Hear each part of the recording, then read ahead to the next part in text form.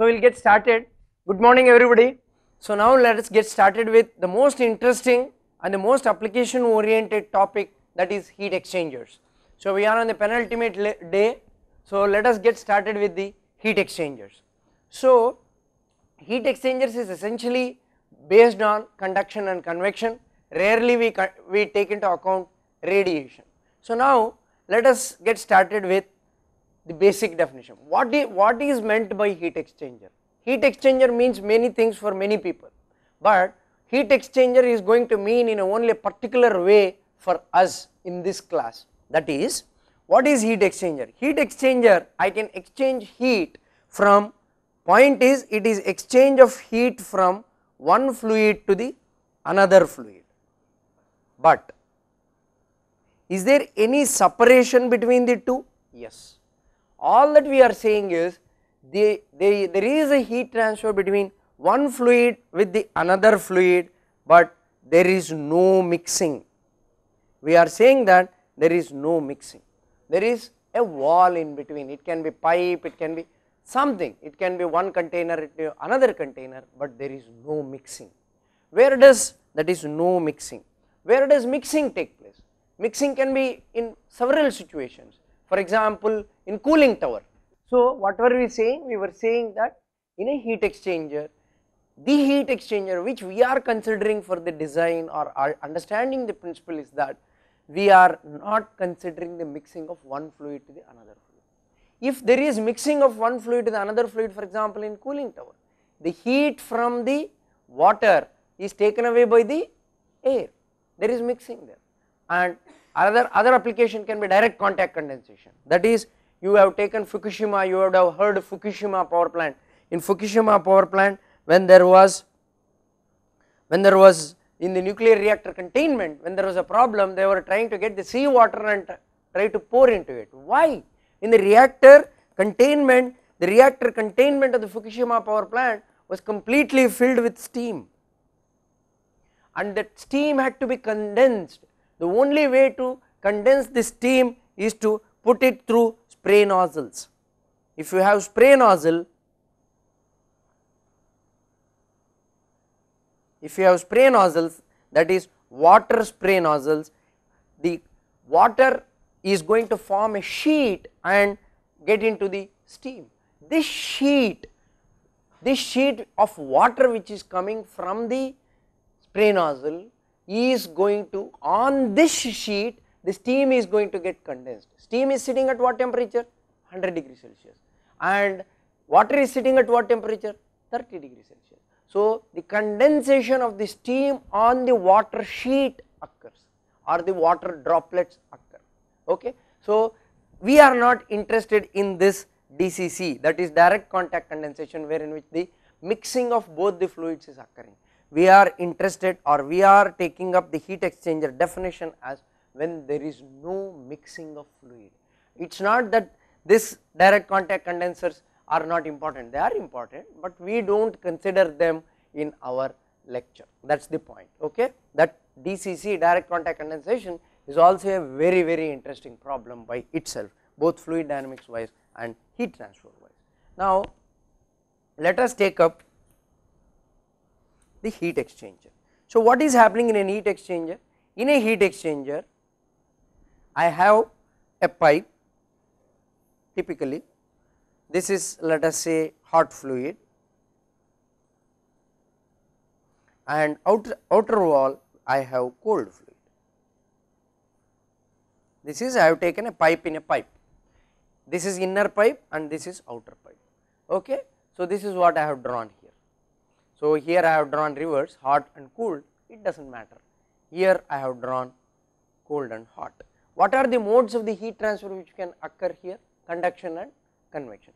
Where all it is occurring? Here it is occurring on the inner side. Let me call that as HI it is what is the what is the convective heat transfer coefficient on the inner side? HI okay? Or the convective conductance would be HIAI okay so, if it is a circular pipe what will be AI? Pi di pi di L okay. So, now what is there is a conductive resistance. or conductive conductance what is that Ka sorry K okay. So, here A would be cross sectional uh, the cross sectional area of the pipe. So, or otherwise if you have to take this 1 by K A, so what is that you take for circular you put this as log of R 2 by R 1 upon K L 2 pi 2 pi R 2 pi K L 2 pi K L. K is the thermal conductivity of my solid.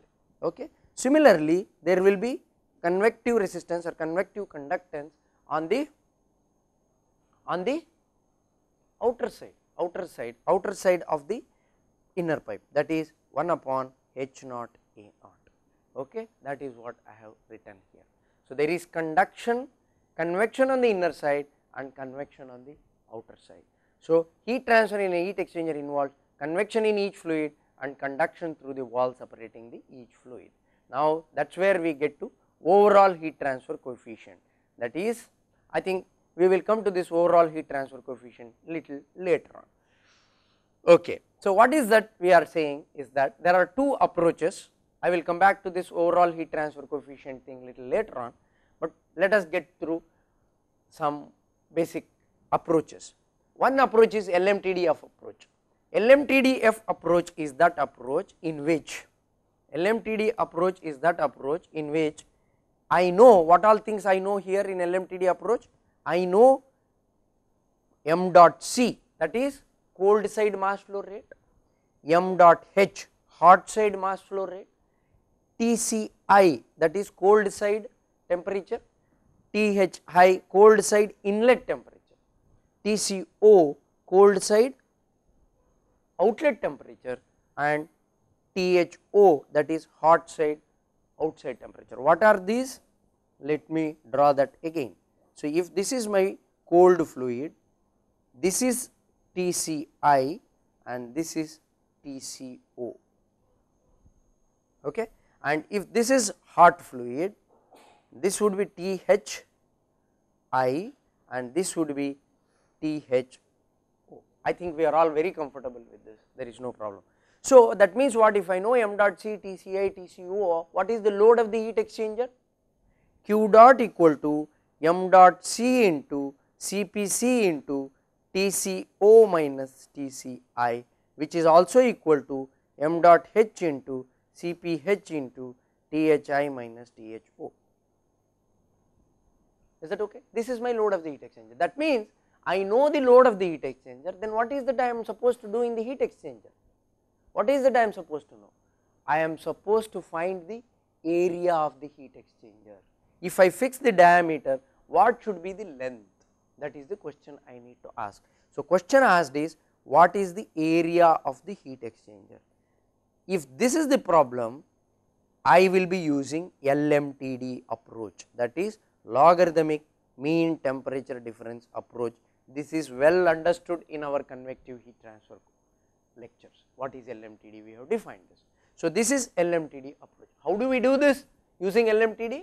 We will learn that, but this is what is called as LMTD. When this is known, this is what we call as LMTD approach. Now, let us see how do we how do we what is epsilon NTU approach? What is epsilon NTU approach? Epsilon is effective effectiveness we have not yet defined for now you take it NTU you know U UA upon m dot Cp you know that, but you we do not know effectiveness it is okay we will define effectiveness little later within an hour. Epsilon NTU approach. In epsilon NTU approach what is all known?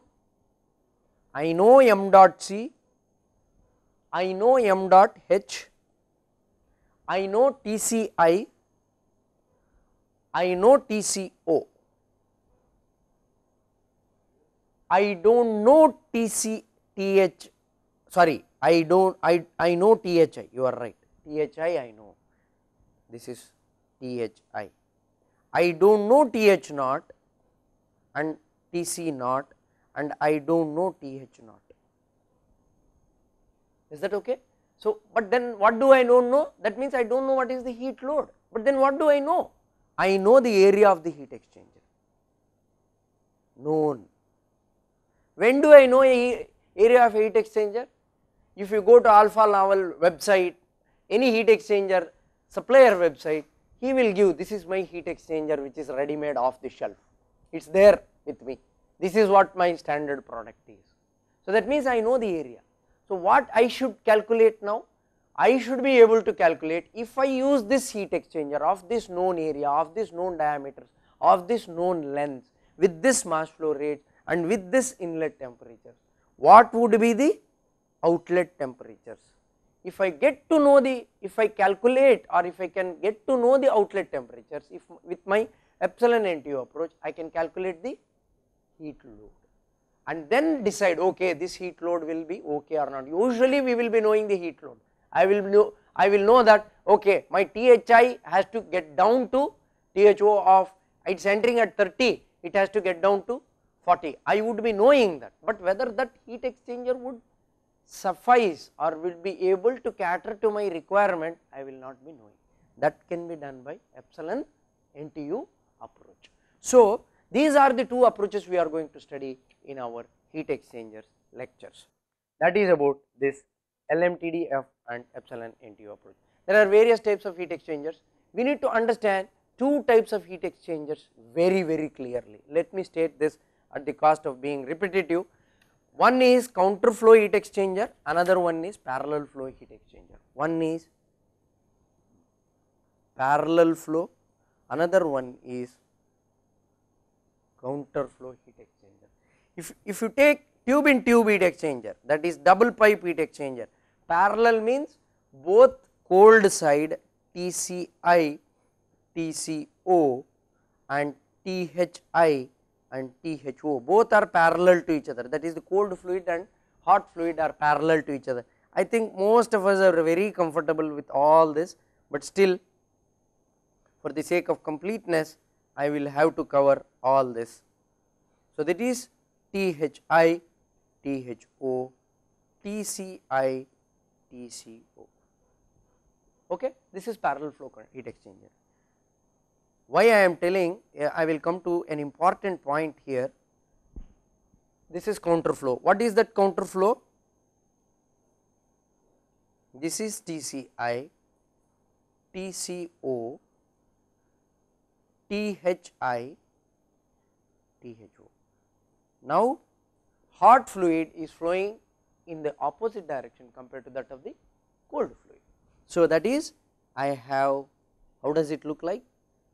This is the hot fluid and this is the cold fluid. That is TCI, TCO, THI, THO, okay, TCI and THO. What is so great about these two heat exchangers that we only study these two heat exchangers for our heat exchangers? Whether it is LMTD approach or epsilon NTU approach we only study these two. Why do we study that is what we need to emphasize to students. Why do we study?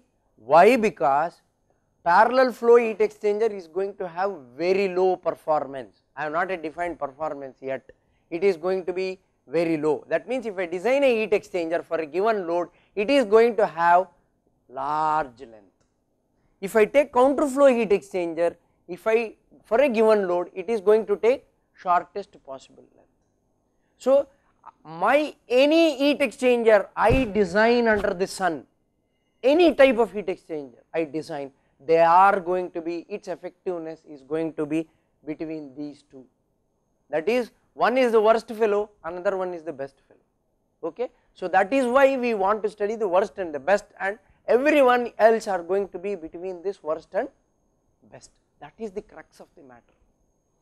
Otherwise people or students will keep wondering why do we worry about this parallel and why do we worry about this counter flow. Crux of the matter is this, you take shell and tube heat exchanger, you take cross flow heat exchanger which I am going to define, many of you know all of this, any heat exchanger you take, plate fin heat exchanger, plate frame heat exchanger, any heat exchanger you take, their effectiveness or their area is going to be between these two areas. Okay. So, that is what we need to emphasize students that is what was my point why I drew this although it is very trivial. Okay? So, fine. So, having understood that now let us move on to that is parallel flow and that is counter flow. Let me just give you a feel of what are the various types of heat exchangers which are available uh, which are generally used. I will come to this beta thing little later. This is the cross flow heat exchanger. Cross flow we all know there is a cylinder in cross flow we studied. Similarly, there is a tube in the tube one fluid is flowing and cross flow to this tube another flow is another fluid is flowing that means one fluid is cross that is perpendicular to the another fluid. So, that is why it is called cross flow heat exchanger. Okay. Actually, this is the shell and tube heat exchanger. If you go to market, if you go to market especially refrigeration and condenser, refrigeration market, for him most of the times heat exchanger means it is shell and tube heat exchanger only. He does not know anything else. For him all that he knows is he has to take a shell and he has to fill in number of tubes. If you change the load, he will just change the number of tubes and make the shell and tube heat exchanger. So, what is so great about shell and tube heat exchanger is that it can take larger pressures. You see both are of circular, both are circular shape that is shell is also made of circular pipe and tubes are also made of circular pipe. Why? Circular pipe can take larger pressures. If you have to operate at 150 bar, 160 bar and all that stuff, then shell and tube heat exchanger is a very nice design. Why? Because it can take larger pressures. Okay. So, there are multiple tubes and in the shell, in the tubes the flow is taking place and in the shell it is entering here and getting out. It is entering here, it is entering here and getting out here. So, what is that happening? Is it counter flow? Is this counter flow? No, it is somewhere between parallel and counter flow. Why? It is coming down and it is going up and it is coming down and it is going up. So, here we do not know what it is, it is neither parallel nor counter flow. So, by intuition itself you can see that shell and tube heat exchanger is going to be between parallel and counter. And also here actually in the tube there is flow from one side to another side, but there can be tubes such that there are multiple passes they can be like this. The tubes can be like this. Okay? That is I think I have like this. Let us say if there is a situation like this. That means what? For one case it will be parallel. Other case it will be counter. Another case parallel. Another case counter. Like that it will be hundreds and thousands of tubes. I have seen heat exchangers in Thane right here I have seen heat exchangers as big as our buildings itself that is our mechanical engineering building that is 3 story floor building itself shell and tube heat exchanger. Why? Because if you want to build a heat exchanger of 1 megawatt or 5 megawatts it has to be that size. The only way to increase is not to increase HI or HO there is a limitation on HI and HO there is only way to increase the surface area okay. This I learnt a very hard way when I went to Tarapur nuclear power plant. There also heat exchangers are as big as multi-story buildings actually. Okay. So, and heat exchangers are as small as 6 meter by 6 meter squared also. Okay. So, we can build there are now people talk about micro heat exchangers also let us not get into that. The point is that heat exchangers are quite large and they are going to be between parallel and counter flow that is the point I want to drive home.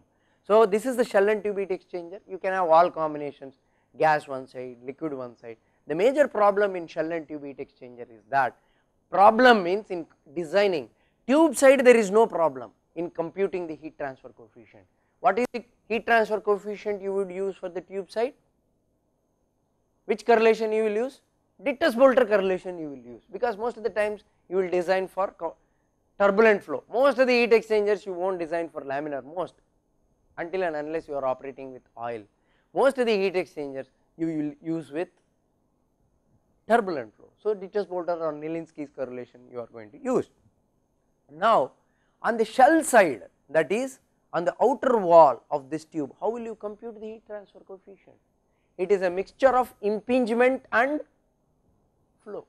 So, people have done experiments actually the credit goes to University of Delaware where the credit goes to University of Delaware there is a method called Bell Delaware method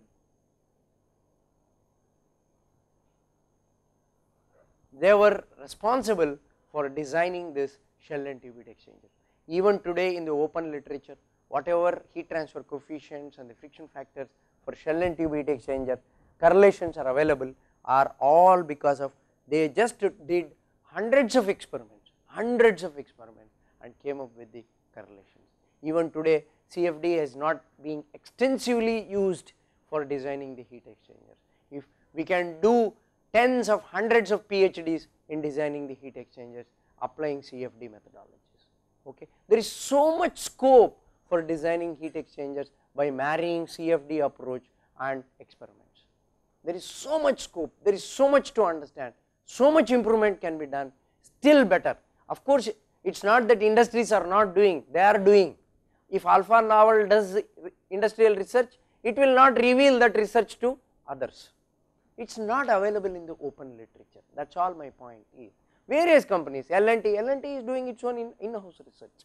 There is, there are various coach companies that, that is having its own research, but they do not reveal us uh, what is that Honeywell is doing its own research, but they are not going to reveal us what it is there in the open literature. It is for our academia to come up with the correlations for various combinations of heat exchangers and explain it through CFD. Okay. Okay. So, I got digressed uh, with the main thing, but, but there is there is juice in heat exchangers for doing research for next 20 25 years for hundreds of people that is the essence. Okay. So, that is about shell and tube heat exchanger and it can be one shell two pass that is this is one pass and this is the second pass. So, like that I can have multiple passes this is two shell because there is a baffle plate which is differentiating this shell and this shell and there are 4 passes 1, 2, 3, 4 okay. So, like that there are there can be tens of if not hundreds tens of types of heat exchangers. Let us not deal with all that. Actually uh, we, we I am sure most of the course uh, most of the uh, universities will float an elective called heat exchangers also. For the heat exchangers basic fundamental is heat transfer. So, if you are strong in heat transfer heat exchangers course is a walkthrough. Why? Because you are strong in correlations. You know fundamentals how to apply. You need to know fins. You need to know heat transfer coefficients if you are strong in conduction and convection you are strong in heat exchangers. Because radiation is rarely taken into account. Okay? Fine. Now let us come back to overall heat transfer coefficient concept. So what did we say here? Overall heat transfer coefficient is I have inner side let us say here in this case hot fluid I have taken. I, there is outer side cold fluid I have taken. That is convective resistance on the inner side is 1 upon HIAI okay? Plus let me write this because as day before yesterday one one lady had asked me what is the Wilson's plot method? I will answer through this question through this presentation that what is Wilson's plot method? That is what is that I have is I have a pipe inner side and this is outer side okay? And this is okay I, my drawing is wrong. This is outer side and this is my thickness okay? So this is inner side and this side is outer timing so what is the overall resistance? What is that overall resistance i am telling here? So that i don't uh, take the different notations. That is 1 upon HIAI plus 2 pi log of R naught by Ri upon 2 pi KL log of R naught by Ri upon R naught upon 2 pi KL plus 1 upon H naught A naught. Okay, equal to 1 upon UA this is the overall heat transfer coefficient. So, usually we say either I can define UI that is if I take AI here I get UI, if I take A naught I will get U naught, but I do not usually differentiate between AI and A naught. I usually keep it as UA only. Because all that we are interested in is the resistance. What is this telling me? Net resistance for the heat transfer to take place from one fluid to the another fluid. That is all we are talking about. So, U is meaningless unless area is specified. So, if let us say ha, this answers another question. If you see in refrigerators, if you see in refrigerators, you see that I have a problem for that, let me take that problem so that we understand. See, I have taken, I have cooked a problem. Thermal conductivity of steel pipe is 15, thermal conductivity of copper is 400. Di is 1.5 centimeter that is 15 mm, D naught is 19 mm, H naught I have given as 1200, Hi as 800. Do not worry about this fouling resistance. Okay. So, that is actually okay. Let me come to this problem after I introduce what is called as fouling resistance. That is in addition to these resistances, I can have what is called as there can be fouling on the inner wall and there can be fouling on the outer wall. That is going to create little bit of resistance and that resistance I am putting it as RFI upon A i on the inner side and Rf naught upon A naught. In the Moodle I had a question how often I should change my heat exchange heat uh, what is that how how often I should change my heater in my geyser so that fouling problem is solved. We will not change the heater. This is what I have seen in olden days in not in olden days during my childhood days we used to have geyser at home. In the geyser what is a geyser? Geyser if I take a geyser this is the geyser. In the geyser I put a heater you might have seen this this heater we put in the uh, heater we put at the bottom of the geyser. Why do we put the heater at the bottom of the geyser? I take this example I forgot to take this example in natural convection. Why do we put the heater at the bottom? When it gets heated up the hot water moves up and the cold water which is there in the top will come down. If I put the heater on the top hot water will stay only at the top and cold water will remain at the bottom. So, though, so uniform heat transfer is not happening. So, that is why heater is put here that is another example which you can quote for natural convection. Why did I come here? Huh. I came here for scaling. So, this what happens is on the heater calcium deposition takes What should you do? If you can reach the heater remove that scaling. If you remove that scaling by scrapping your fouling resistance has decreased. That is what we usually do in case of or they apply in a shell and tube heat exchanger if they have to reduce the fouling they take a pipe and put some acids onto it so that that scaling is washed out. But believe me if I am having a heat exchanger as big as a mechanical engineering building how much time and how much effort and how much pumping power it takes to remove the scaling. So that is why scaling is so important. I cannot throw away the heat exchanger, I have to remove it somehow. Okay. So that's that is scaling. Scaling is an important thing. I learned this very hard way. I learned this very hard way. Why? Because we were just trying to discuss with BHEL about some supercritical boilers. We are not doing that. We were just discussing that. At that point of time of discussion, we had a engineer who was a PhD in chemical engineering. That is, his he had come what was his problem or what is his job in BHEL power plant? His job is to maintain pH of various fluids which get into heat exchangers and get out of heat exchangers. Why is he worried about pH? Because acidity or basicity is the one which decides the fouling. Okay? So, his job is to only control pH.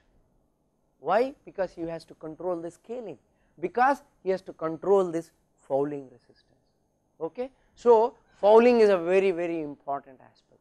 How do I characterize this? This can be characterized only through experiments, it cannot be done through modeling. Okay? So, heat exchangers even today is driven more or less by experiments, it is more experimental driven rather than numerical. Of course, CFD is important and should be pitched in so that we can we can afford to do less experiments. Okay. So, this is about inner fouling and outer fouling. Let us go to this example where in which I have put the inner fouling, outer fouling and heat transfer coefficients are there. If I put this, let me take up the resistance. What is this resistance now? Log R naught by Ri upon 2 pi K L. What is this resistance? This resistance is 1.675 into 10 to the power of minus 3. If I take, is that right? No, it is 2.491 into 10 to the power of minus 3 if I take stainless steel pipe. On the other hand, if I take copper tube, what is this resistance coming down to 0.094. you see it has come down by 10 times, it has come down by 10 times. That is the reason why you see in refrigerators all copper tubes all over the place. Copper tubes because conductive resistance log R naught by Ri upon 2 pi k L. If you increase this k, you can decrease the conductive resistance. So, that is how conductive resistance if you take a highly insulating material and the thickness less, if you take the thickness less log R naught by Ri also will become less. So, if you take thin tube and highly conductive material conductive resistance is less then you can neglect if you can that is what is being shown through this problem. If if I can neglect the convective conductive resistance so what is my overall and thickness is small then what will happen 1 upon what will happen to this equation 1 upon if AI is approximately equal to A naught and conductive resistance is approximately equal to 0, I will get 1 upon u equal to 1 upon h i plus 1 upon h naught. Okay. So, now very interesting thing that is Wilson plot we will be coming. That is if I that is what I am saying is what I am saying is if I take a tube in tube heat exchanger and I have inner side HI and outer side HO, if m dot let us say this is hot side and this is cold side let us say m dot h and m dot c. What is that I learned 1 upon u equal to 1 upon h i plus 1 upon h naught. Okay.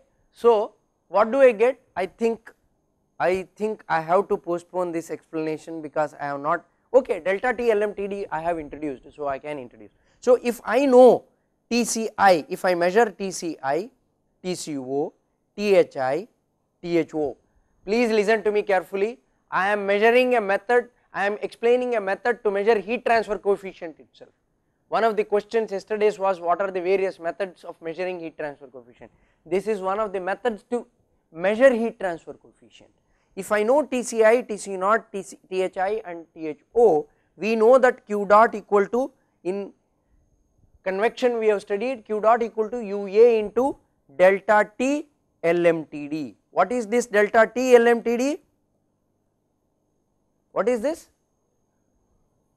If I have count parallel flow heat exchanger, sorry I am drawing a small figure, this is THI THO, TCI, TCO until I see this figure I cannot write delta T LMTD that is my problem. So, THI minus TCI minus of THO minus TCO upon log of THI minus TCI upon THO upon TCO. So, what is that I know if I know if I have measured all these temperatures inlet and outlet, inlet and outlet, cold side and hot side, I know delta T LMT. And do I know Q dot? Do I know Q dot? M dot Cp delta T either on the hot side or the cold side you take you get the Q dot. So, what is now I will get UA I will get. So, 1 by UA and if AI equal to A naught if I take a thin tube 1 by U equal to 1 by HI plus 1 by H naught. Let us say on the hot side I will keep my mass flow rate so high, so high that H naught is very high, H naught is very high. If the mass flow rate m dot H is very high, H naught is very high means 1 by H naught will become negligibly small, negligibly approximately 0 let us say. Then what will happen? 1 by u equal to 1 by this implies that 1 by u equal to 1 by Hi. That means what? I am able to measure the inner side heat transfer coefficient. Of course, this is average heat transfer coefficient, it is not local, it is average heat transfer coefficient. This is what is called as Wilson's plot method, Wilson's plot method. I will not go to what is the Wilson plot and plot it and show that, but if someone is interested there are papers on Wilson's plot method I can always give you those references, but this is essentially what is Wilson's plot method of measuring the heat transfer coefficient. You see if you are strong in fundamentals you can generate your own methods that is what people do now you want a micro tube, micro finned tube whose heat transfer coefficient you want to measure. You put a micro finned tube inner side and outer side you keep H naught very high then you have to you can measure the HI okay. Okay with this we will move on to what is called as of course there are if you put a fins on the inner side or outer side you have to take into account the fin efficiency for resistance okay. So with this we will move on to there are various there are various cases which I have listed for which the overall heat transfer coefficients are listed out. I am not going to go and visit each one and explain you what is what, but this is going to give you the if it if the gas is there you can see that the overall loss coefficient is less if it is liquid the overall loss coefficient is high. With this I do not think I am not going to spend too much of time on each case and say that this is high this is low I am going to now get started with delta T LMTD approach okay that is LMTD approach okay and I am not going to write this definite I am not going to derive this on step by step because I am sure each one of us are quite comfortable with all of this. So in next 20 minutes I intend to complete this delta T LMTD approach and solve a problem on this okay. So what is this delta T LMTD approach? In the delta T LMTD approach we said that inlet mass flow rates that is mass flow rate on the cold side and the hot side we know, inlet temperatures we know TCI, TCO, THI, THO we know that is what we said as L delta T LMTD approach. Yeah, this is delta T that this is LMTD approach. We know m dot C, m dot H, TCI, TCO, THI, THO. So under these circumstances let me do the analysis. What am I doing? Before I do that, I take a parallel, I am going to do this derivation for parallel flow heat exchanger, the same derivation is there for counter flow heat exchanger in this notes, same lines you can follow, okay, there is no difference. So what is that? This is the parallel flow heat exchanger, okay, and I am taking Th in as the inlet temperature of the hot and Tho is the outlet temperature of the hot side, Tc in is the inlet temperature of the cold side and Tco is the outlet temperature of the cold side. Now at every location there is a temperature difference between hot and cold and this temperature difference is decreasing with the increase of length okay. So now you see delta T, delta T is decreasing. Now let me take a small elemental area that is a length dx that is what is this, this length here is dx or elemental area das okay. If I take DAS as the elemental area. What is happening in this elemental area? There is a temperature drop on the hot side DTH and there is a temperature increase on the cold side DTC and there is a heat transfer from hot side to cold side delta Q dot. Okay. This delta Q dot equal to m dot C CPC DTC which is equal to minus m dot H dTh. Why is this minus sign? Why is this minus sign? Because temperature is decreasing with the increase of length. Now, before we get into this analysis, I need to state the assumptions under which this analysis I am doing. What are the assumptions? I am assuming that steady flow has reached. Okay. Heat exchangers take infinite time, I should not use the word infinite, take long long time before they reach the steady state. If you take a power plant, the power plant takes almost couple of hours to reach steady state okay? And if there is change in the load it will again take much more time to reach. In the morning there is heavy load. In the afternoon it is part load. And like that the load keeps on. In the night again the load changes. Load increases. So my power plant also get has to modulate itself for this changes in the load electrical load. So, point is it takes time for a heat exchanger to reach steady state. And there are no kinetic and potential energy changes. In a heat exchanger there are lots of bends and valves and it is going through lot of things, but we are going to assume that velocity is going to be constant. And whatever height difference is there I am not going to consider that. That is potential energy changes are neglected. Thermophysical properties are constant especially Cp and viscosity and rho I am assuming constant. This is not always true especially when we are taking liquids because the viscosity at 30 degree Celsius is not same as the viscosity at 90 degree Celsius for water. So, it is going to be different, but for now I am going to go ahead and make a relaxation and take the assumption that thermophysical properties are constant over entire length. Another important thing is no heat loss to the surroundings that is whatever heat lost by hot water is equal to what heat gained by cold fluid, but not always true because there is loss to the ambient, there is loss to the ambient conditions. So, that loss that is why we were talking about yesterday insulation, aluminum foil and things like that and heat transfer coefficient is constant over entire length.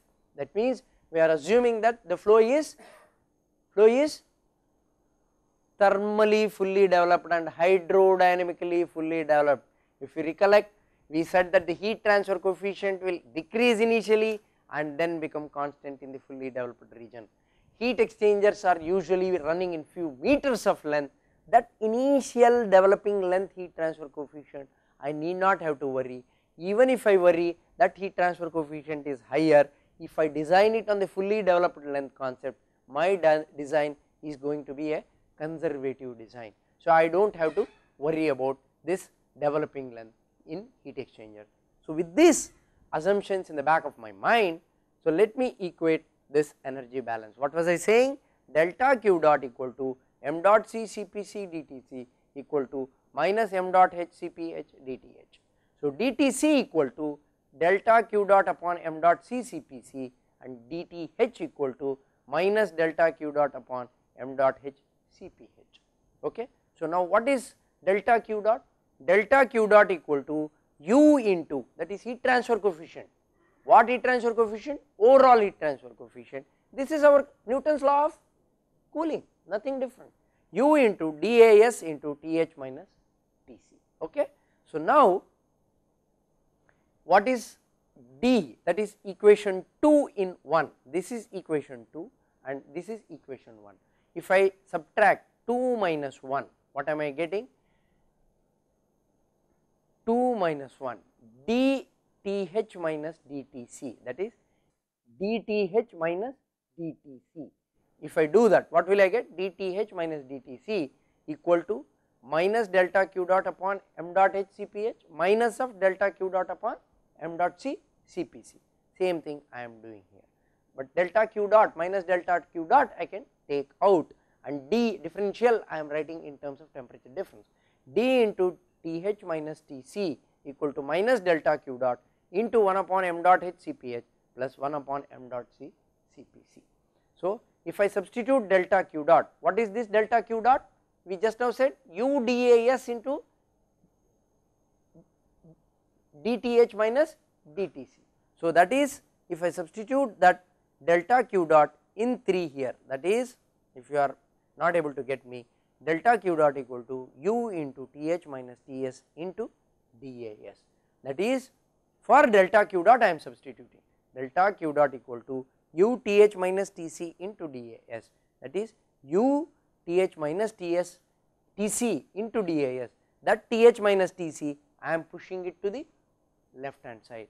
So, left hand side I have d into th minus tc upon th minus tc. Let me just get started from LMTD approach. In the LMTD approach we know the mass flow rates, cold side, hot side, inlet temperatures and outlet temperature that is Tci and Th naught. Under these assumptions, under these assumptions we said that we need to compute the what is the aim, what is the analysis, what is that we are trying to do in this in this derivation. We are trying to relate the temperature with the overall heat transfer coefficient and the load. Okay? So that I can get the area. Okay? What am I up to in LMTD approach?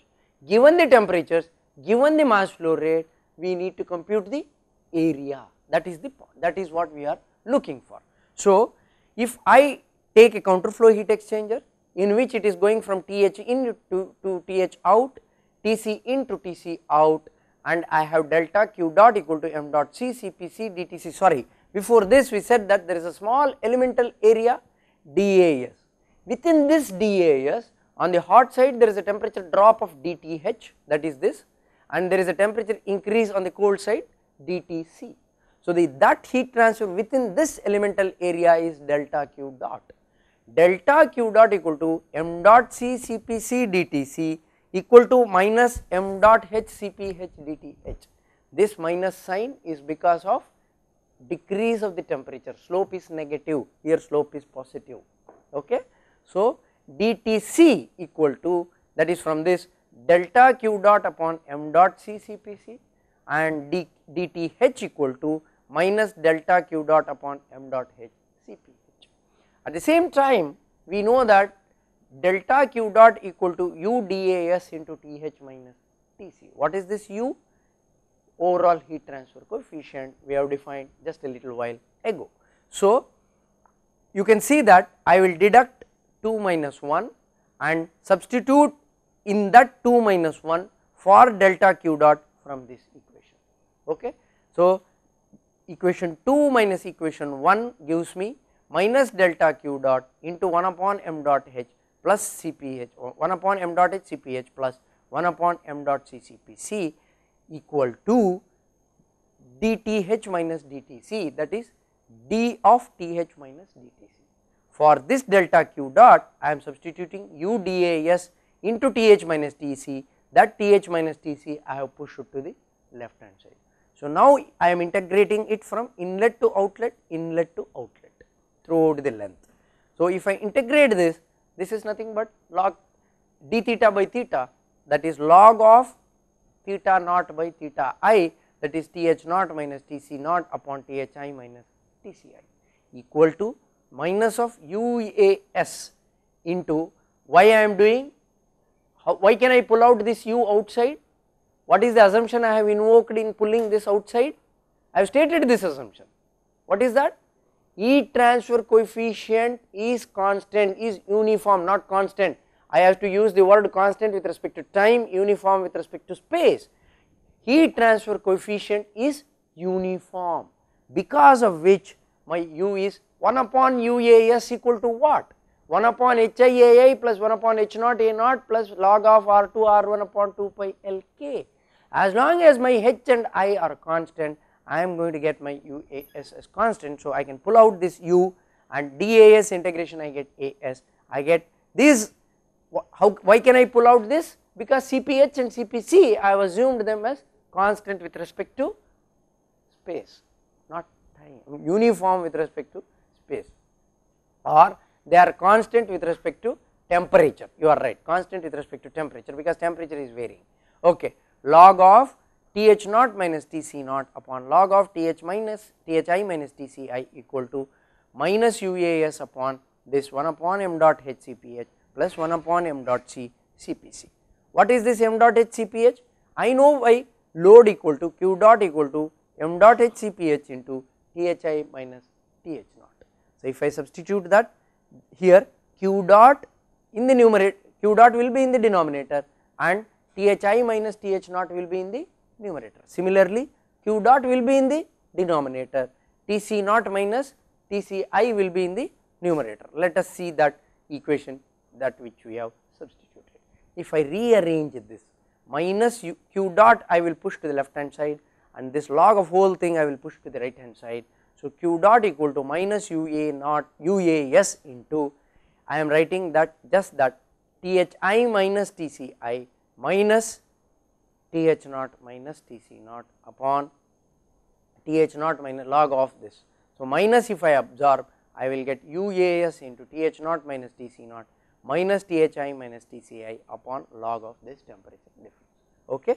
So, that is what we get q dot uas what is delta T1 delta T1 is the temperature difference at the exit and delta T2 is the temperature difference at the inlet and log of delta T1 upon delta T.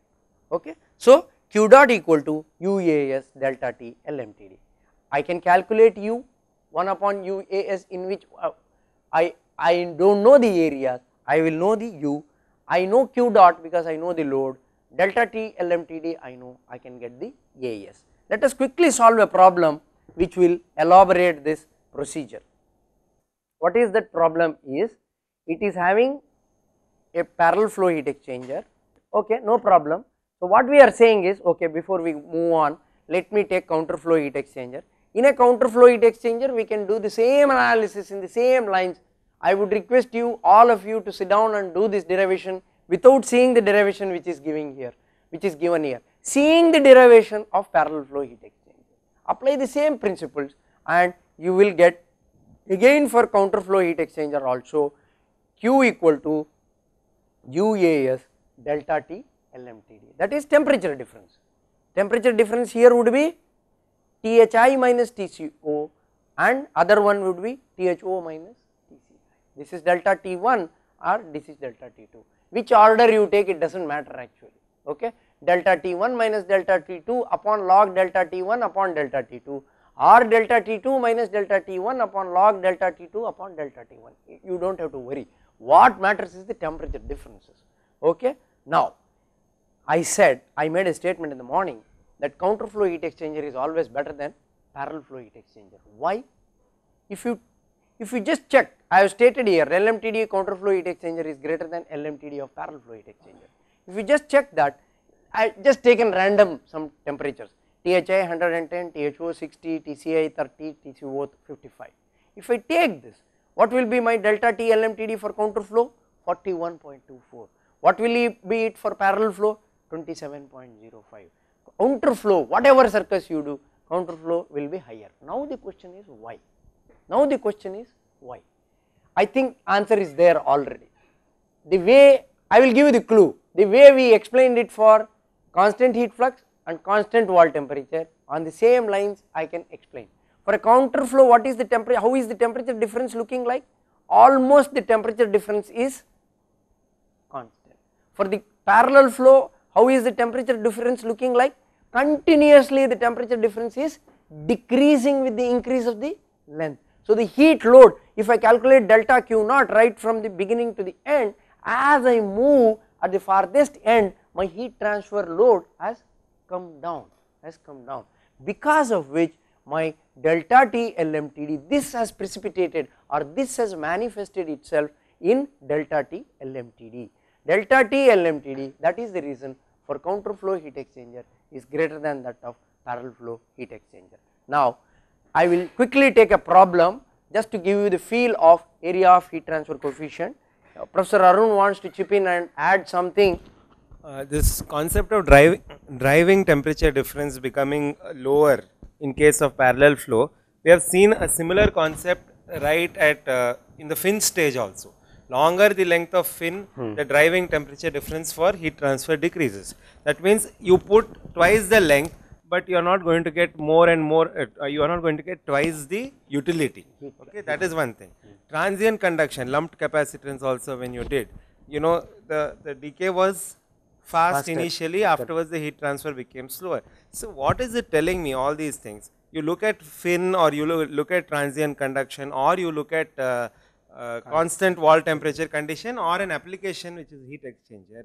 It is the delta T which is going to matter and in all the four cases if you see the initial delta T especially fin uh, transient conduction lumped analysis as well as constant wall temperature case the nature of the temperature distribution is same. One is horizontal other is exponentially increasing or exponentially decreasing so that the delta t is exponentially decreasing always. Here also in parallel flow the delta t is going to decrease of course not exponentially. Exponentially will be a special case. Yes, yes. So, the point to note is that okay? So actually very nicely professor arun connected very different things the summary is temperature difference, temperature difference, temperature difference because that is the driving potential. Okay. So now let us take a problem. The problem is I have oil and water and water is entering at 30 degree Celsius and I do not know at what temperature it is getting out although I have written it 40.2 and I will be able to calculate that and the mass flow rate is at 0.2 kg per second and I have an oil which is being flowing at 0.1 kg per second and entering at 100 and getting out at 60 degree Celsius. First thing is in the problem I need to calculate the properties. What, at what temperature I need to calculate the properties? At the average of the inlet and outlet. That is the best thing I think by now you know why we take always the average temperatures I do not have to elaborate that. Similarly, for oil and water I have taken Cp, mu, K, Prandtl, note Prandtl is 501, Cp, mu, K, Prandtl of water is 4.85. Now what is the load of the heat exchanger? How did I get this T mean as 35? First is I need to calculate the load of the heat exchanger that is I know on the oil side all the things inlet, outlet, mass flow rate all that I need is Cp. If I take the Cp of the oil if I calculate m dot h Cph Thi minus Th naught I get 8.5 kilowatts. If I plug in that 8524 kilowatt and put Cp, Cp and mass flow rate of water I get TCO, TCO as 40.2 that is how I have got 40.2. So now having got the load what is that we are trying to solve in this problem? Area, what is the area of this heat exchanger? So what will I do? I will choose a diameter most of the times you have to choose the diameter no one will give the area because this is a tube in tube heat exchanger I have to choose the diameter. What is the diameter I have chosen? I have chosen 1 inch pipe 25 mm I have chosen. If I choose 1 inch pipe first thing again delta T LMTD I will compute and keep that is not an issue 43.2 degree Celsius I will compute and keep because I know all the temperatures I do not have to show that. First thing is I have to compute HI, HO what for? I have to try to compute UAS. So we know that 1 upon UAS equal to 1 upon HIAI plus 1 upon H naught A naught plus log of R2 by R1 upon 2 pi LK. So I, I am neglecting the conductive resistance I am trying to calculate only HI and HO and I am neglecting the thickness also okay. So if I do that diameter is 25 first thing is on the water side I have to compute water side is tube side or shell side tube side. So tube side I have to compute Reynolds number 14050 that means it is turbulent. So I can use Dittus Boelter correlation. If I plug in Dittus Boelter correlation I get HI of 2250. Now on the oil side what is the oil side Reynolds number? This is very important point here. For Reynolds number I have to take velocity. For velocity for Reynolds number I have to take hydraulic diameter. That is what is the hydraulic diameter of an annulus? D naught minus di that is 4 into area upon perimeter right 4 into wetted area by perimeter. So you get d naught minus di. So 4 rho v dh by mu that is Reynolds number you get. You see the Reynolds number, Reynolds number is very small. Why? Because it is oil, viscosity is very high 3.25 into 10 to the power of minus 2. So with this Reynolds number, now whatever be the Prandtl number I know the Nusselt number. Now which Nusselt number I should be taking? 5.56 should I take constant wall temperature or constant heat flux? Which one should I take? I should take constant wall temperature. Why? Because I want to take mostly temperatures. I, as I said in convection convect in the heat exchangers closer boundary condition is constant wall temperature although in not true strictest sense. But I take constant wall temperature another reason is that it is lower heat transfer coefficient. If it is lower my my estimate of area would be that means my resistance estimated is higher. That means my design of the heat exchanger would be a conservative one. I would have estimated larger area then if I build that heat exchanger it would perhaps take more area than what I have designed it for. Okay. So with that I get H naught as 38.4 so now 1 upon 1 upon ui 1 upon hiai plus 1 upon h naught a naught because thickness is very small thickness is very small I have neglected I have taken that ai equal to a naught otherwise what I should have taken? Ai is pi d i l and a naught should be pi d naught l pi d naught l. Okay? See here we should not take a naught as pi by 4 into d naught squared minus d naught di squared. Okay? Or I should not take usually my students ask me the question sir I should take the outer di inner diameter of the outer pipe. No. What is the convective resistance which we are computing? I am computing the convective resistance on the outer wall of the inner pipe. Remember that. Okay? So that is why my a naught should be pi d naught l. All that I am saying is that in this problem my simplification is that d naught is closer to di because thickness is very small. I have neglected that. So, I get u equal to 37.76 you see the oil side is oil side heat transfer coefficient is very less. Oil side it is resistance is high. Resistance is high. So, overall heat transfer coefficient is closer to that of oil. In fact it is it is almost same. It is 38.84 this is 37.76 okay. So, I get q dot equal to UAS delta T LMTD I get a length of 66.54 66.54 meters. How many foot? 66 ah, 3 meter 3 feet is 1 meter. So, roughly so 66 into 3 66 into 3 is around 200 foot 200 feet. 200 feet means it is almost 20 story building. 10 stories 10 feet is 1 story building. So, 20 story building is the length of the heat exchanger. Is that right or wrong? 200 feet 200 feet divided by 10 is 20 20 story building is not not an easy task. So, I do not think I can build an heat exchanger. That too for a load of how much? 8.5 kilowatts. If it is megawatts I can imagine 8.5 kilowatts this length is too much. What should I do? What should I do? I should decrease the resistance on the oil side. I, it why it has come down? Because it is laminar. I make it turbulent. If I have to make it turbulent I have to increase my pumping power. Pumping an oil is not an easy task. So if I make it turbulent and get the heat transfer coefficient as much as 2250 as much as 2250 how many times it would have gone up 2250 divided by 38 huh? 60 times. See my length will come down to nearly 1 meter 1 1.2 meters. That is the beauty. If we had not understood this convective resistance concept I would not have designed. I know where is the pinch. I can go there and take care of that and design my heat exchanger. 1 meter means it makes sense. It is just this length. Only thing is that I need a pump for the oil. That decision that I have to go for a pump came from which is affecting my size of the heat exchanger okay. So this is about LMTD approach and there is the you see here there is this is just nothing but constant there is a constant uh, okay what is what is this transparency saying is this is what always we ask the question for our students what is delta T LMTD when m dot C CPC equal to m dot H CPH in most of the interviews in most of the entrance tests you will have this question. Why? Because what is the delta T LMTD I do not have to do any mathematics for this. First I can see physically. What is that delta T LMTD it is temperature difference between hot side and cold side. Why did we define delta T LMTD because it is continuously varying from inlet to outlet.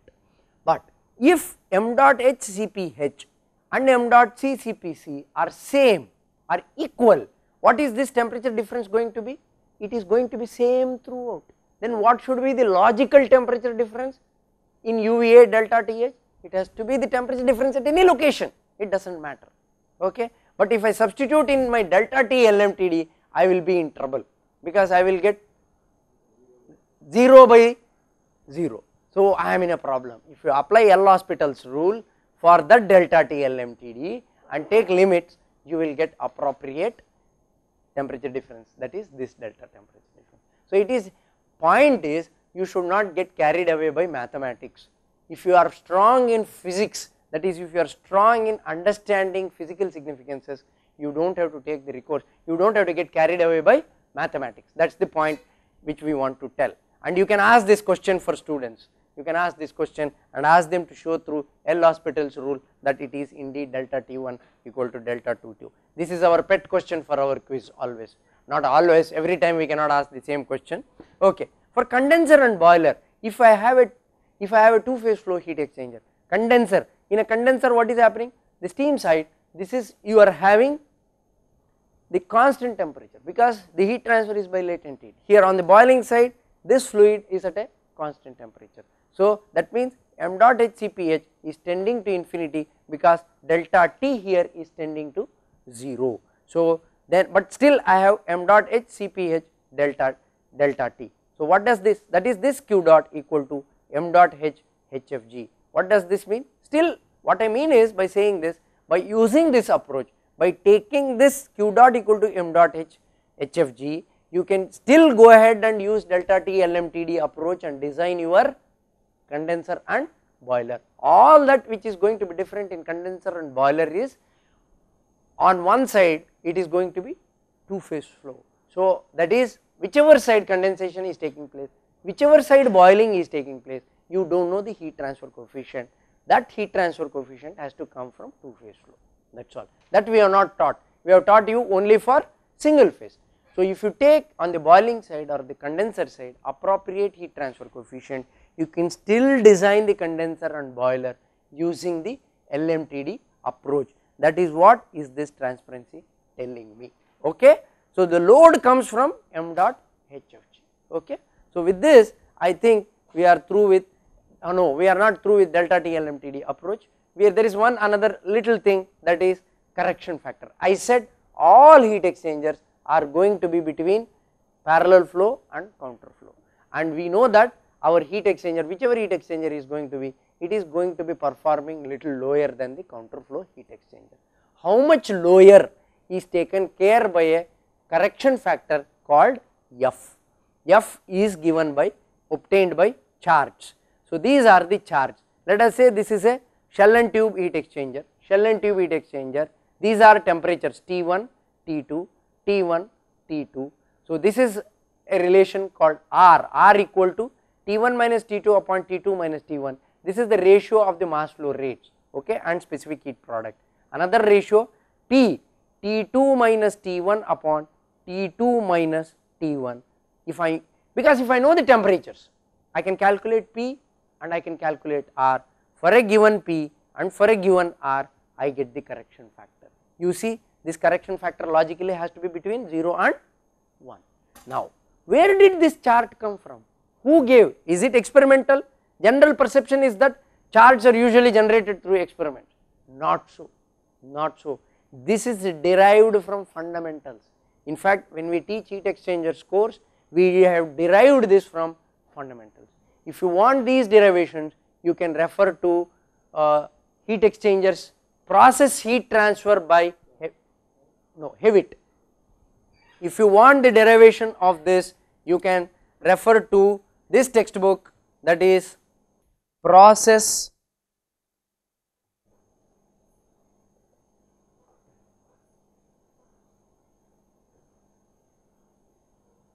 heat transfer by sorry not by Kern by Hewitt okay if you google book search you will get the edition and things like that. It is a quite an expensive CRC press CRC press.